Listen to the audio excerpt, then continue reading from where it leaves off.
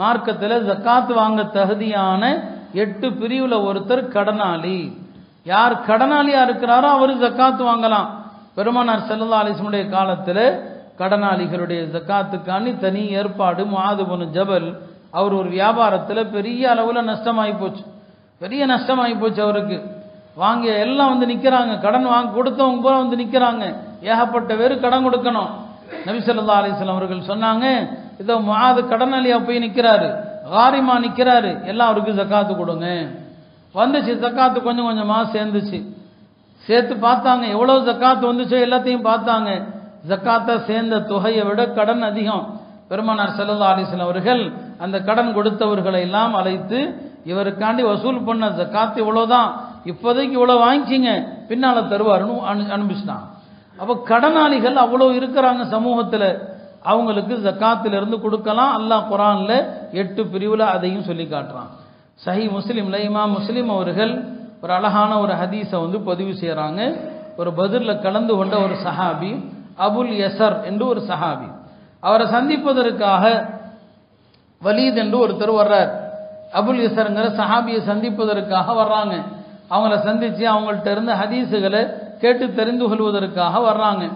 அப்போ அந்த அபுல் யசர் அவர் தான் பதிரில் கலந்து கொண்ட சஹாபாக்களில் மதீனால கடைசியாக மரணித்த ஒரு சஹாபி. அவரை சந்தித்து சில ஹதீஸுகளை எல்லாம் கேட்டு தெரிஞ்சுக்கலான்னு வர்றாங்க. அப்படி வரும்போது அவரிடத்துல ஏதோ எங்கேயோ போயிட்டு வந்திருக்கிறார். அவருடைய முகத்தில் கொஞ்சம் களைப்பு கொஞ்சம் கோபம் தெரியுது. கேட்குறாங்க என்ன கொஞ்சம் கோபமாக இருக்கிறீங்களே? என்ன விஷயம்னு சொல்லி. அப்போ சொன்னார் இல்லை ஒன்றும் இல்லை. கொஞ்சம் தூரம் அப்படியே ஒரு வேலையாக போயிட்டு வந்தேன். என்கிட்ட ஒருத்தர் கடன் வாங்கியிருந்தார். ஒரு ஆள் என்கிட்ட கடன் வாங்கியிருந்தார். அந்த கடனை திருப்பி கேட்கலான்னு நான் போனேன். போனால் அவருடைய வீட்டில் இருந்து மனைவி பதில் சொன்னாங்க இல்லை அவர் வீட்டில் இல்லை அப்படின்னு பதில் சொன்னாங்க. கொஞ்ச நேரத்தில் அந்த வீட்டில் இருந்து ஒரு சின்ன பையன் வெளியே வந்தான்.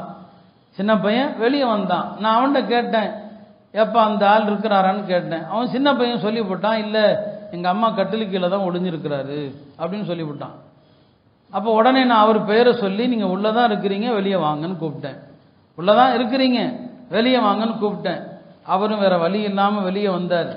வெளியே வந்து சொன்னார் அல்லாம் இது சத்தியமாக சொல்கிறேன் நான் ஒளியிறதுக்கு காரணம் உங்கள்கிட்ட வாங்கின கடனை என்னால் கொடுக்க முடியல. நான் பொய் சொல்லவும் கூடாது. தவறான வாக்குறுதியும் கொடுக்கக்கூடாது நான் கஷ்டத்தில் இருக்கிறேன். நான் சிரமத்தில் இருக்கிறேன். அதனால தான் நான் போய் ஒளிஞ்சுக்கிட்டேன்னு சொன்னார். உடனே அபுல்யசருங்கிற சஹாபி சொல்கிறாங்க அல்லா மீது சத்தியமாக நீ நெருக்கடியில் இருக்கிறியான்னு கேட்டான். ஆமாம் அல்லா மீது சத்தியமாக நான் நெருக்கடியில் இருக்கிறேன். மூணு தடவை சத்தியம் பண்ணி கேட்டாங்க. அல்லாம் இது சத்தியமா நீ நெருக்கடியில் இருக்கிறியான்னு கேட்டாங்க. ஆமான்னு சொன்னபோது உடனே சொன்னாங்க நீ அல்லாம் மீது சத்தியம் பண்ணிட்ட. நீ நெருக்கடியில் இருந்தா உனக்கு வசதி வந்தா என் கடனை திருப்பி கொடு. இல்லையா அந்த பணத்தை உனக்கே நான் ஹலால் ஆக்கிட்டேன். நீ திருப்பி தர தேவையில்லை. அப்படின்னு சொல்லிவிட்டு சொன்னாங்க. நான் ஏன் தெரியுமா உன் கடனை தள்ளுபடி செய்கிறேன் பெருமானாருடைய ஹதீஸுகளை சஹாபாக்கள் எவ்வளவு மதிச்சாங்க. சொன்னாங்க நான் ஏன் தெரியுமா உன் கடனை தள்ளுபடி செய்கிறேன்? என்னுடைய கண்கள் பார்த்தது என்னுடைய செவிகள் கேட்டது என்னுடைய உள்ளம் மரணமிட்டது பெருமானார் இந்த ஹதீஸை சொல்லும்போது நபிசுலாம் சொன்னாங்க மன் மன் அன்வர அவ் அன்ஹு. நெருக்கடியில் இருக்கிற ஒரு கடனாளிக்கு யாராவது அவகாசம் கொடுத்தார் அல்லது ஒரு கடனாளியினுடைய கடனை தள்ளுபடி செய்தால் அதல்லஹுல்லாஹு ஃபி தில்லி. நாளை மறுமை நாளில் தன்னுடைய நிழலை அல்லாஹ் அவருக்கு கொடுப்பான்னு சொன்னாங்க.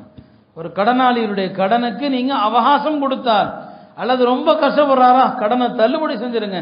வேணாம்ப்பா தர வேண்டாம்ப்பா அப்படின்னு தள்ளுபடி செஞ்சா மறுமை நாளில் அல்லாஹ் தன்னுடைய நிழலில் அவருக்கு நிழல் கொடுப்பான்னு சொன்னாங்க. இந்த ஹதீஸின் காரணமாகத்தான் நான் உனக்கு தள்ளுபடி செய்கிறேன். போங்க முடிஞ்சா கொடுங்க இல்லைன்னா வேண்டான்னு சொன்னாங்க. அருமையானவர்களே பெருமானார் சல்லல்லா அலிஸ்லாம் அவர்களுடைய சஹாபாக்கள் பெருமானாருடைய ஹதீஸுகளுக்கு எவ்வளவு முக்கியத்துவம் கொடுத்தாங்க என்பதை இந்த ஹதீஸிலிருந்து நாம் பார்க்கிறோம். அதனால சமூகத்தில் உதவக்கூடிய எண்ணம் இருக்கணும். இயன்ற வரைக்கும் கடன் எல்லா விஷயத்துக்கும் வாங்கவும் கூடாது. நிர்பந்த தேவைகள் ரொம்ப சிரமமான சூழ்நிலைகளுக்கு கடன் வாங்கலாம். அப்படி வாங்கும்போது சமூக சமுதாயத்தில் வசதியானவர்கள் கடன் கொடுக்கணும். உங்களுடைய செல்வத்தில் ஒரு ப- ஒரு தொகையை கடன் கொடுக்கறதுக்குனே வைங்க. உங்கள்கிட்ட வேலை செய்கிறவங்களுக்கு கடன் கொடுங்க.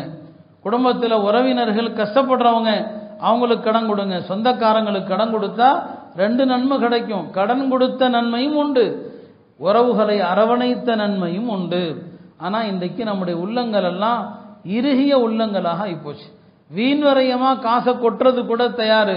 ஆனால் கஷ்டப்படுறவங்களுக்கு உதவுறதுக்கு மனம் இல்லை கஷ்டப்படுறதுக்கு உதவுறதுக்கு மனம் இல்லாத காரணத்தினால மக்கள் தவறான வழிகளில் கடன் வாங்குறாங்க ஹராமான வழியில் கடன் வாங்குறாங்க இதுக்கு மறுமையில் சமுதாயமும் ஒரு பொறுப்பு.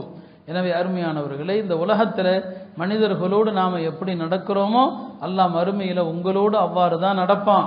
மக்களோடு நீங்க பெருந்தன்மையாக நடந்தால் அல்லாஹ் உங்களிடம் பெருந்தன்மையாக நடப்பான். எல்லாம் அல்ல அல்லாஹ் நம்மிடம் என்ன இருக்கிறதோ அதை கொண்டு பிறருக்கு உதவி வாழுகிற மக்களாக நம் அனைவரையும் ஆக்கியல்வானாக வாஹுர் தவானான் அலமதுல்லாஹ்